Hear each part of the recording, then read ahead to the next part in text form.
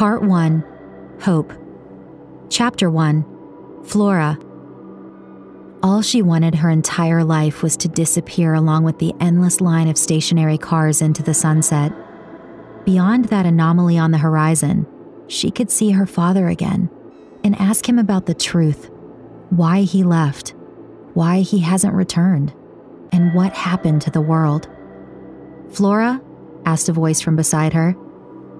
Perched above the city on a skyscraper, she could see the shimmering river of cars lined up with the setting sun. It made it seem like she could swim into that glowing orange portal on the horizon. On the solstice, every five years, Flora and the rest of the city of Gridlock would watch its newly crowned Hope Runner bravely venture into the horizon to find answers about what happened to Earth, their city, and why they had been alone for decades. Since the championship started a few decades ago, not one Hope Runner had returned from beyond the anomaly, her father included. Despite being the only city they knew of still in existence, the city still came out in droves to watch another runner disappear into the distance to find hope. Flora, are you okay? came the voice again. Although she's tried to feel hope, it's always evaded her. She was up on the skyscraper every five years, hoping that there was some reason to the absurdity, that her father would somehow return from the anomaly that surrounded them 100 kilometers in every direction. To her, it was not just the strange, invisible wall that kept them physically confined, but her own smothering mental prison. Her gaze shifted to her two friends next to her as she recognized the voice of her plump friend, feet also dangling to the gridlock down below. Despite his bushy beard, he still had a youthful face that had not aged since high school. Did you hear me? Palma asked again, you thinking of entering the next championship? Flora released an anxious, stuttering sigh. If Armin doesn't come back, yes. Wait, really? Flora's head sank. Palma, no. As much as I want to, I can't leave my mother behind, not yet. She stared out over the city again. But seriously, just look at it. I know you see things differently from where you live, but as Flora spoke, Palma turned to the city and its endless, ossified gridlock that flossed through the city beneath them. It's a shithole. The gridlock hasn't moved for several decades. The city is being pushed to its limits. What's the point? There are no more answers for us here. It's all out there. I think you should, her other friend said, peering up from under his cap. His long legs also dangled over the edge. No, Esper, we've been through this. One day. Not now. Don't you think it's time that your mother also knew the truth?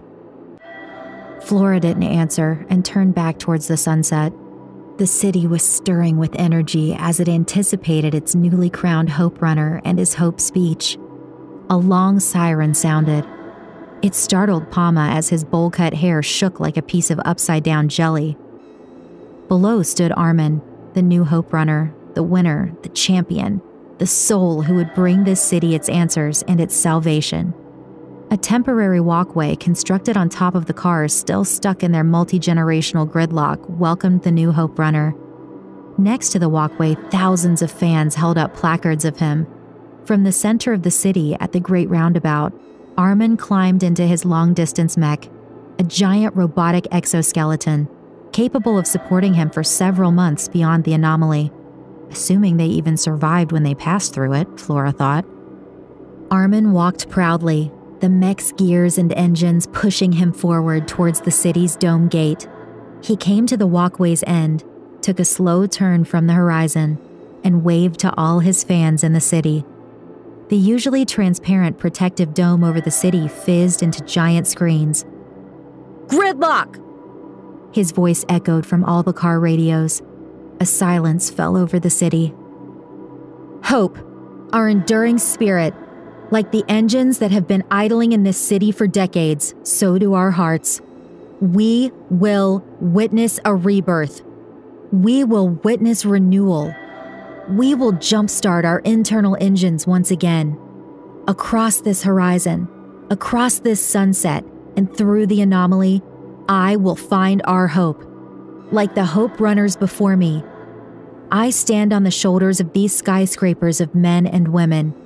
Each one of them adds to our enduring spirit.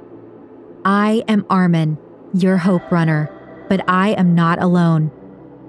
To my tribute, my lover, Argent Winslow, you made me the person I am. You gave me the courage to serve this city. I hope I will not only do this city proud, but you too, my love. This is not a goodbye. All that tribute money you received, you won't even need to spend a dime. I will be back before you know it, Armin said as he blew a kiss towards the city. To all who every year improve this city, thank you. To all who every five years present us with the new long distance Hope Mech, thank you. So many don't know the hard work and science that goes into improving them. Before I climbed into this, I just had to marvel at its beauty. With this new long distance mech, there's no doubt I will return soon with our hope. I am honored that I get to run into that horizon and serve this city. I will return soon with the fuel our spirits have been craving. This is for everyone in the city to those who live in the trunks, to those who live in the cars in the gridlock, to those who live in the mid levels, to those who live next to lakes in the penthouses. This is for all of us. Here's to the city of Gridlock. Armin raised his mech's arms into the air. The people of the city responded and raised their key fobs to their cars into the air. To Gridlock! At once, the entire city turned their car locks on and off, echoing a giant ung ung. He waved goodbye and stepped through the dome gate. He started running along the line of cars, bending into the horizon. Soon the sunset swallowed him. In a few minutes, at the edge of their known world, he would pass through the threshold of the anomaly. The city never gets to see it. Their hero suddenly fading into thin air doesn't exactly foster hope. Regardless, cheers erupted throughout the city. Fuck, that was cheesy, Esper remarked as he stood. Really? He was at least better than the previous Hope Runner, Palma said, looking at Esper walking past him to the stairs. Palma followed. That part about jump-starting our internal engines, that was good though. He paused and turned to Flora. She was still sitting, eyes on the horizon. It was twilight, and the sunset reflected off the keys she usually wore as earrings. Flora, you coming? What's wrong? I think I'm just going to sit for a while longer. You aren't coming for drinks? No, sorry. Not tonight. I've got work tomorrow. They didn't give you off? Yes, but I screwed up and now, well, I have to make up for it. Don't really have a choice. You're coming out later this weekend, though, right? Yeah, sure. It's the new spot in the mid levels, right? You got it. It's right at the edge of the mid levels expansion, so you get a view over the gridlock. Really cool. Hipster bar, Palma said, turning to the horizon briefly and back to Flora. Esper and Palma disappeared down the stairwell. Flora drew her legs up to her chest, burying her face between them. While staring at the horizon, a tear rolled down her cheek. It dropped, and even though there was no atmospheric wind inside the dome, it flew wistfully all the way to the cars below. The parties below responded with muffled, thumping music. More tears came. She reached into her jacket pocket and took out a bracelet with a piece of leather in its middle.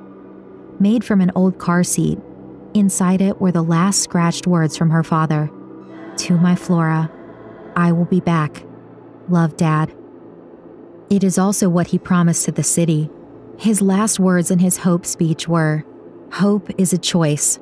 I will be back. Flora wiped her tears and put the bracelet back into her pocket. She looked towards the horizon, hoping to see him come running back. As the twilight arrived, the red lights on the top of the buildings started flickering, still warning the non existent airplanes of their existence. The music became louder. The red lights beat like the hearts they harbored beneath them. With a deep breath, Flora got up and descended to reality. It was time to head home to her mother. As she exited the building, there were many celebrating in the ever present gridlock. Music was blaring from makeshift bars constructed around the cars, serving alcohol out of temporary wooden windows. Despite her mind still being away from the city, she smiled at the reverie. There was hope, clearly, but she couldn't feel it. She continued walking along the gridlock until a part of the mid levels loomed in front of her concrete and steel connecting skyscrapers over the road below. It seemed to swallow the cars and the old streetlights. She entered the tunnel of darkness underneath it, twilight replaced with light from fixtures hanging from the concrete above. The trunks, a new underground emanating underneath the mid levels, was awash with the smells of sweat, fried food, and desperation. Flora patted herself down, double checking her keys and her phone as she walked along the cars that no longer witnessed the sun. Despite the improvements in the long distance mechs, increasingly the writing was on the wall. To Flora, the city was dying, and it was apparent to her that the city was burying its own streets under fresh concrete. Despite the despondency, Flora kept going for one reason to find answers. It's what always kept her going. As she walked home, the familiar blue and purple LED sign of Max Simulator Arcade hovered closer, shining over kids that were spilling out onto the sidewalk. They all had Armin t shirts on, likely talking about the Hope Run Championship that he won a week ago. One kid in the simulator was doing well, running along the simulated skyscrapers and deftly jumping ahead of his competitors. When the kid entered his high score, Flora let out a small fist pump. Her high scores were still all intact. Most of the top 20 read Flow. Some said ESP for Esper. It's where they met, both fans of the simulator. It took Flora quite a few years to beat her own scores after Esper messed with the machine when they were teenagers. One evening, when they were younger and the sun still shone into the arcade, Esper confessed to hacking it. Why did you hack the machine to make me win? Flora asked him as they walked hand in hand in search of a late night snack.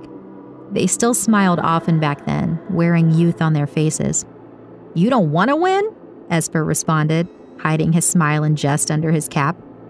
Yes, but I want to do it for myself, Flora replied, punching him on his arm. Flora beamed at the memory. It hugged her like Esper used to hug her. When the arcade owner discovered that Esper hacked the machines, they employed him for a while to do other work. Flora continued onwards through the trunks, turning a corner towards where she lived with her mother. Leaving the darkness and the memories of her past behind, she exited the trunks into the last minutes of twilight. On some days, it felt like the streetlights that still glowed in this corner of the city were afraid that at any moment the mid levels would absorb it. This quiet area, nestled between skyscrapers on three sides of it, morphed into an old age home. The unregulated building of the mid level seemed to respect the elderly. The homes built over and around the cars emitted soft lights and had slow shadows moving about them. Flora approached their home, comprised of an old bus and a repurposed taxi next to each other. She opened the creaking driver's side door and habitually said hi. Her mother didn't reply. Mom? Flora asked into their home.